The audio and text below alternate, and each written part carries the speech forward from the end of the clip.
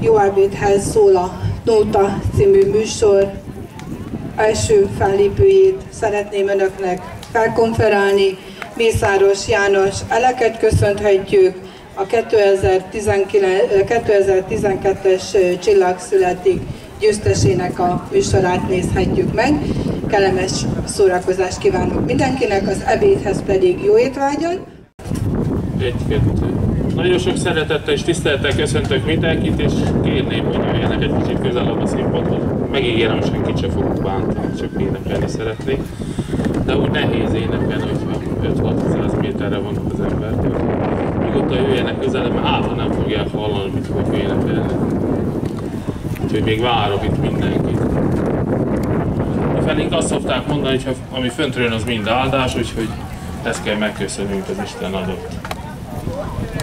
Köszönöm szépen. Nagyon sok szeretettel és tisztelettel köszöntök én is mindenkit, és nagyon örülök, hogy itt meghívást kaptam erre a szántó versenyre.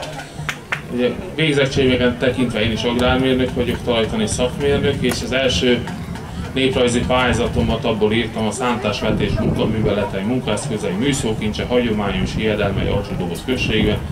Ez megyei második, meg országos második lett ez a pályázatom, úgyhogy picit értek én is ehhez a dolgokhoz.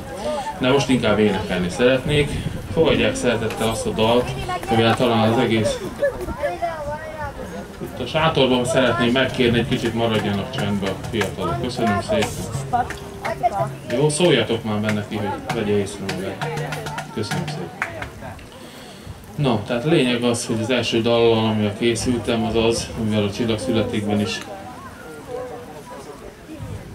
amivel a csillagszületékben is megismert mindenki, és most azoknak az emlékére szeretném elénekelni, akik évszázadokon, évszázadokon át szántották, vetették az ország határát az őseinkre, nagyszüleinkre, létszüleinkre.